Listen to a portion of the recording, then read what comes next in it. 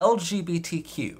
It's an acronym that is often made fun of by people who don't understand graphic shit, but this is, you know, everybody, women and men, you know, and everything in between, you know, as far as Oh, uh, the elemental P people.